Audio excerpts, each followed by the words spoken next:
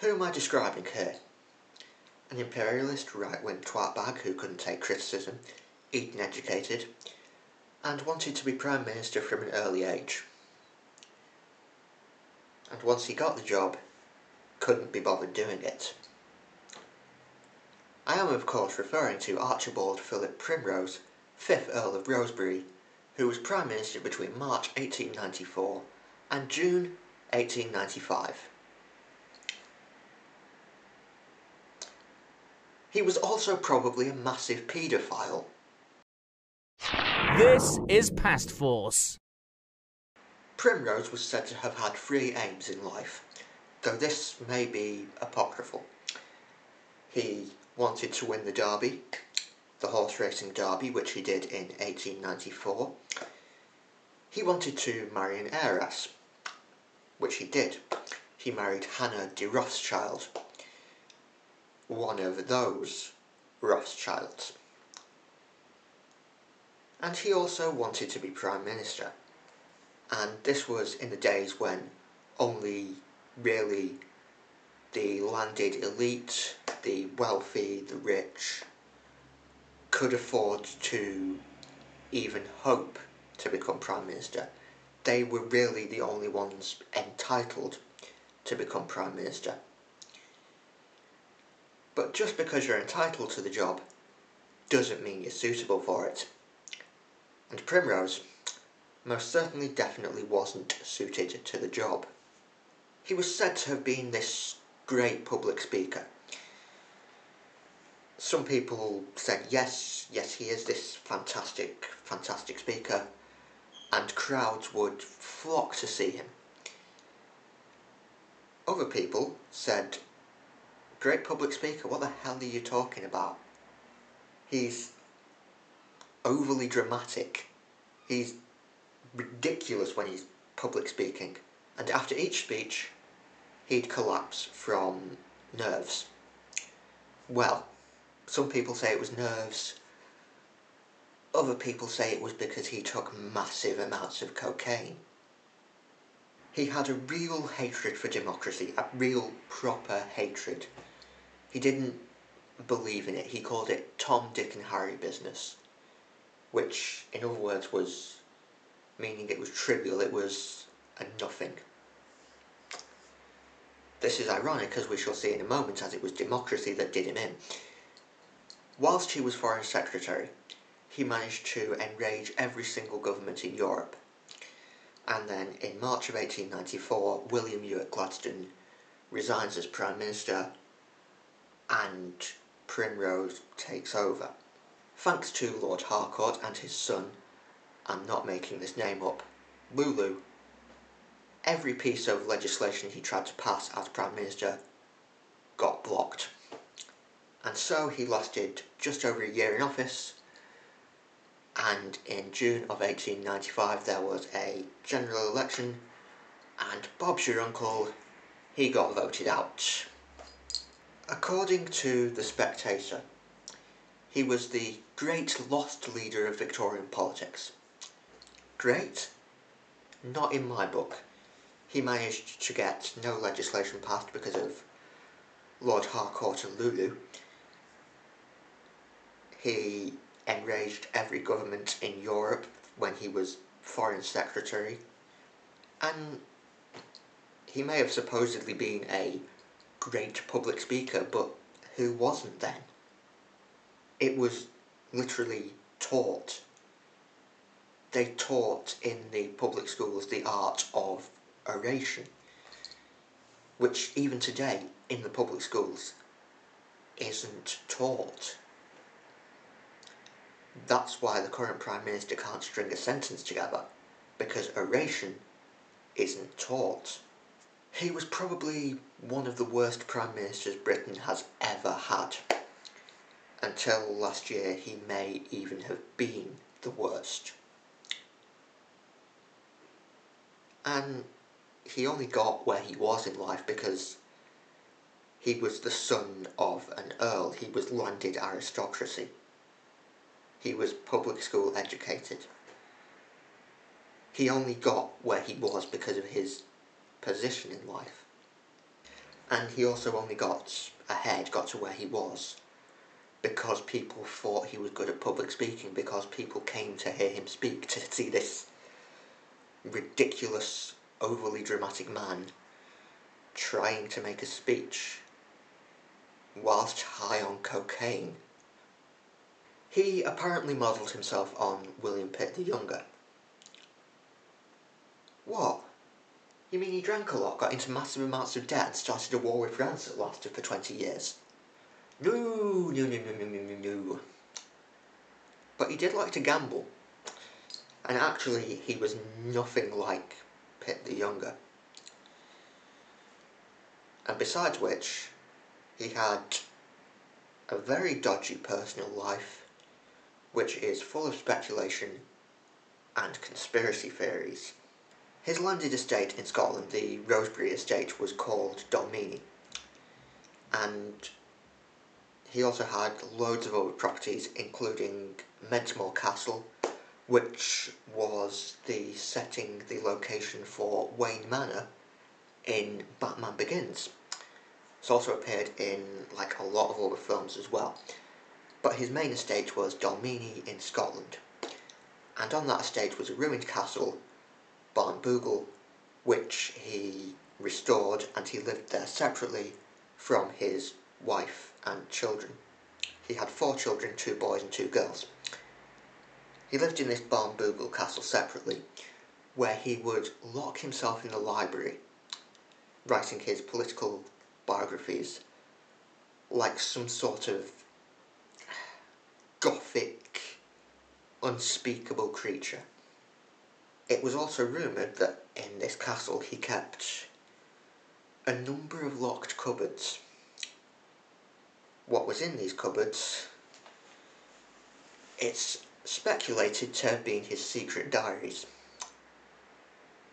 Although, probably there was nothing in them because Primrose liked to cultivate this air of mystery about him. He liked to act all mysterious and enigmatic and woo. Annoying, in other words. But the speculation doesn't end there. Because supposedly he was also a homosexual and he went to great lengths to hide his sexuality. We've all been there. But also, he may have been a massive, massive paedophile. When Primrose was at Eton, when he was a young boy, and before his father took him into the city to see a marching band, when he was at Eton, his tutor was one William Johnson, who was a massive, massive, massive paedophile who allegedly abused an enormous number of his pupils. And in 1864, he and young Primrose went off to Italy together, to Rome.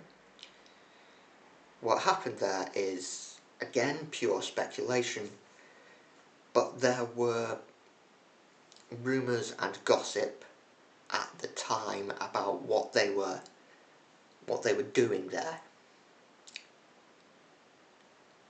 In 1872, Johnson was sacked from Eton. He was dismissed, forced to resign, amidst accusations of, of paedophilia, of fondling his pupils. And then he went to live abroad. And then, after a few years, once the scandal had died down, he came back again. But he and Primrose they kept up this this correspondence right up until Johnson's death in 1892. They were incredibly, incredibly close.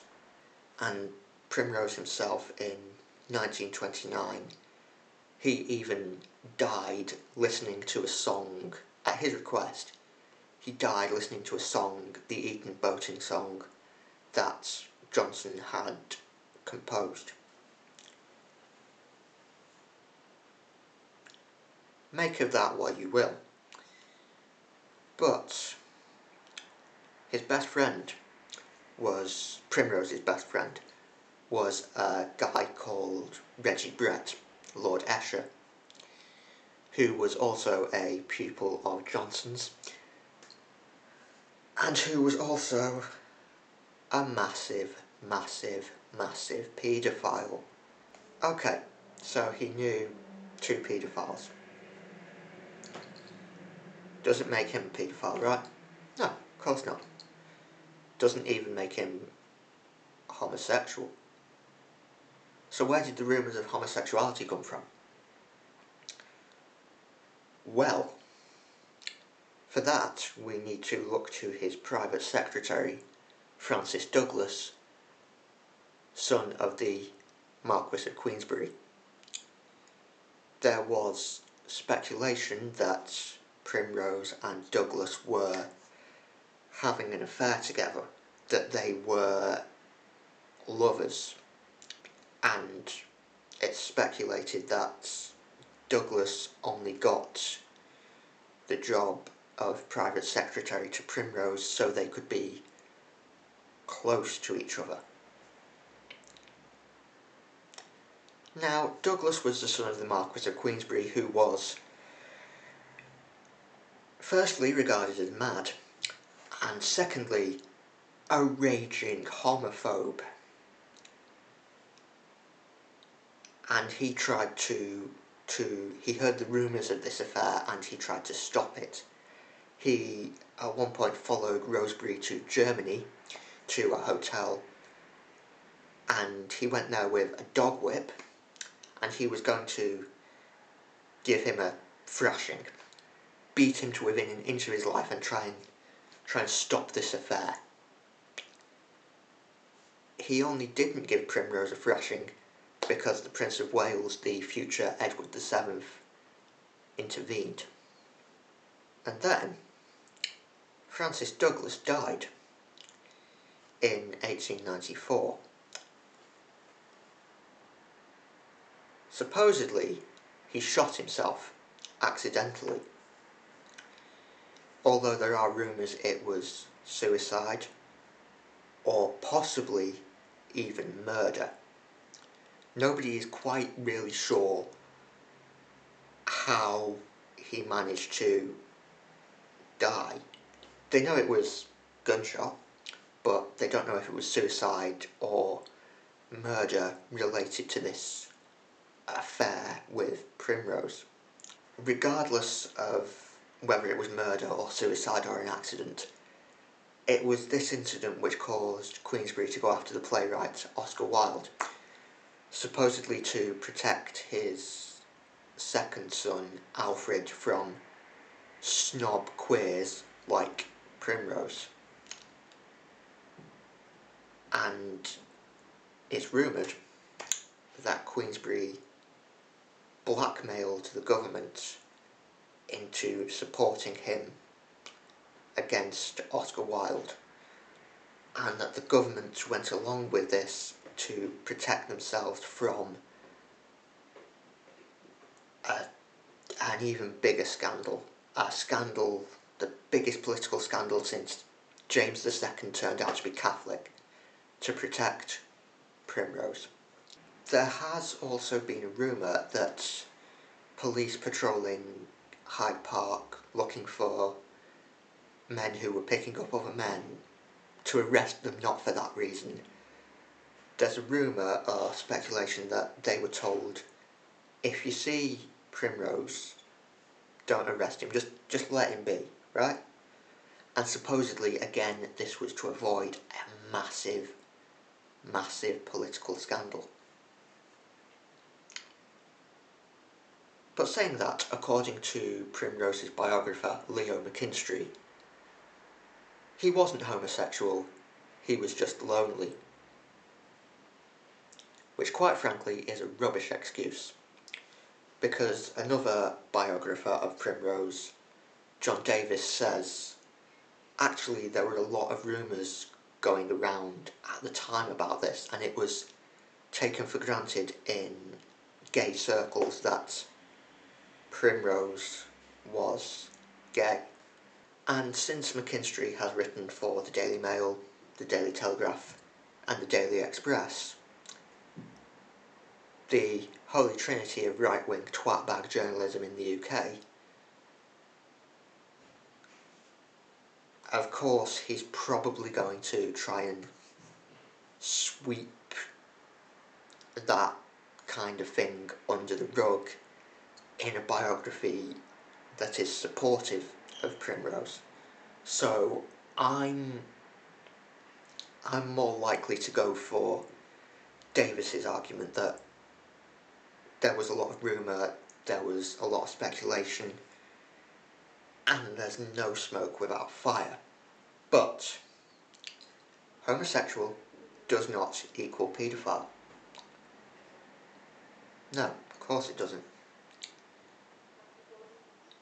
Well, this is where it gets interesting because allegedly Primrose was sexually infatuated with his own son, which would make him not just a paedophile, but an incestuous paedophile, if it was true.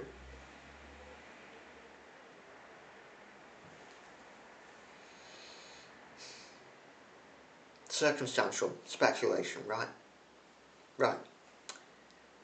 But let's let's look at the culture that Primrose was was embedded in. He was close friends with his tutor. He had he allegedly had an affair with his tutor, who was known to be a paedophile. His best friend was a paedophile. He was at Christ Church College, Oxford, which he didn't graduate from, where one of his tutors was Lewis Carroll, another alleged paedophile. His, his political rival, Lulu Harcourt, owned the largest collection of child pornography in the country.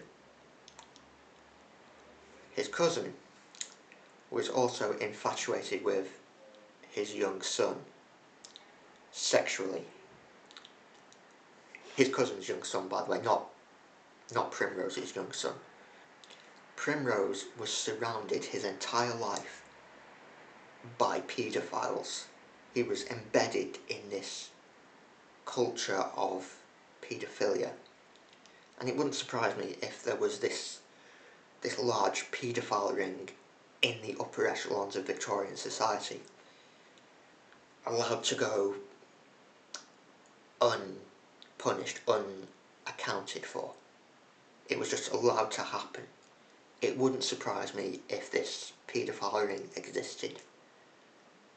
And given the circumstantial evidence, it wouldn't surprise me if Primrose himself was indeed a massive paedophile. History! It's a thing of the past! It's a thing of the past.